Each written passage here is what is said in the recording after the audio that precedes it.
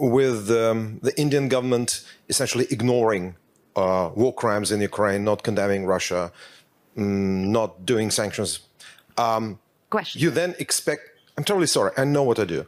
Uh, with uh, the uh, with India counting on global support for uh, in its struggle with China, its issues with China.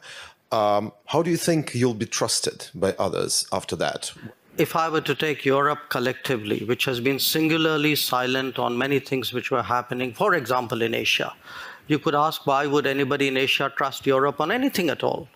Our position is very clearly that we favor an immediate cessation of hostilities.